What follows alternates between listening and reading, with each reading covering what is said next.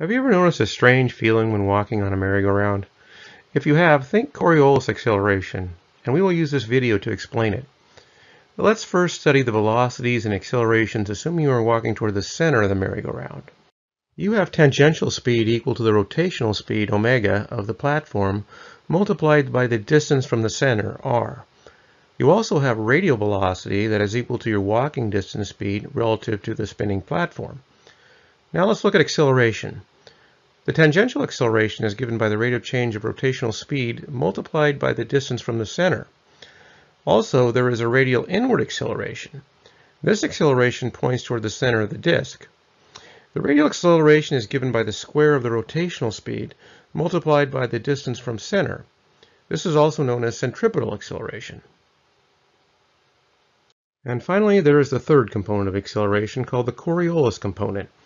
Its value is given by 2 times your relative velocity multiplied by the rotational speed. It also acts in the tangential direction.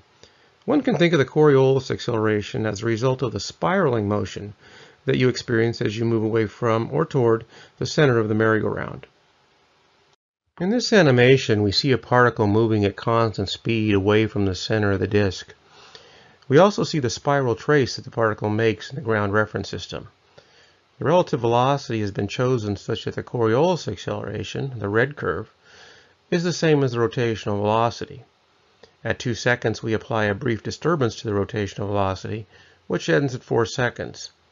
During this video, the changing magnitude of all three acceleration components are shown by red arrows in the animation. After the disturbance, the tangential acceleration is zero because the rotational speed is constant.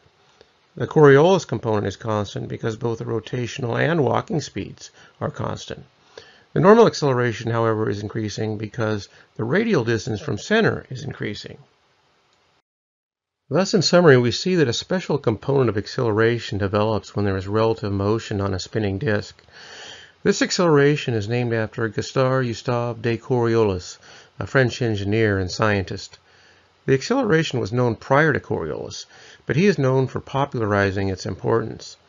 It should also be mentioned that the Coriolis acceleration has the same value if the particle is moving in any relative direction, not just toward or away from the center. But its direction will always be normal to the direction of relative motion. Also, if the particle is accelerating or the track is curved rather than straight, additional components of acceleration will develop.